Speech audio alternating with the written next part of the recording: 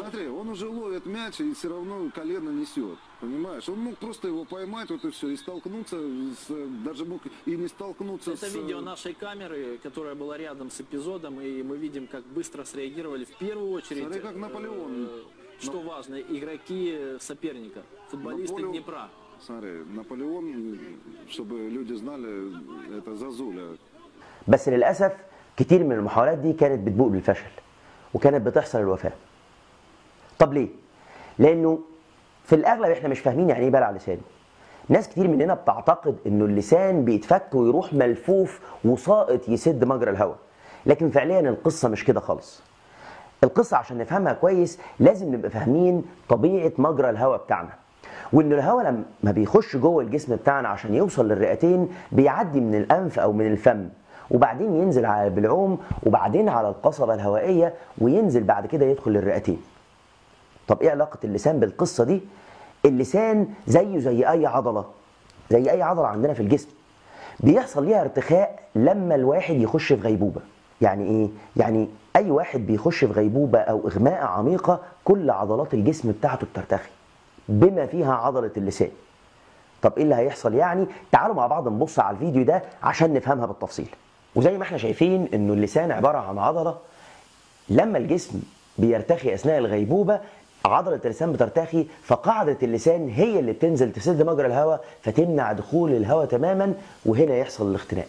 وهنا المشكلة إنه اللسان هو اللي سد مجرى الهواء في حالة ارتخائه. السؤال نتصرف إزاي؟ أو إزاي نعيد فتح مجرى الهواء؟ هل بنمد إيدينا نشد اللسان ولا بنرفع دماغه لفوق ولا نميله على الجنب ولا نتصرف إزاي؟ خلي بالك فكرة إنك تميله على الجنب ولا ترفع دماغه أو تبدأ تهز دماغه فكرة خطيرة لأنه في الأصل هو فقد وعيه لأنه اتخبط خبطة جامدة في دماغه. فأوعى تحاول تحرك الدماغ أو تحرك الرقبة أو العمود الفقري حركة عنيفة لأن ده ممكن يضره ما يفيدوش. أمال هنتصرف إزاي؟ تعالوا نتفرج تاني على نفس الفيديو بس نكمله ونشوف اللسان ممكن يترفع إزاي. مجرى الهواء المقفول بقاعدة اللسان نقدر نفتحه بإن إحنا نحرك الراس بالطريقة دي. ساعتها قاعدة اللسان هتتشد لفوق مجرى الهواء هيتفتح والهواء يخش ببساطة وما يحصلش الاختناق. طيب نرفع الراس بشكل مظبوط إزاي؟ الطريقة بسيطة جدا. وحركة يا ريت نتعلمها ونعلمها لكل الناس اللي حوالينا. الحركة بمنتهى البساطة إيد على الجبهة وإيد على الدقن. هزق الجبهة وارفع الدقن.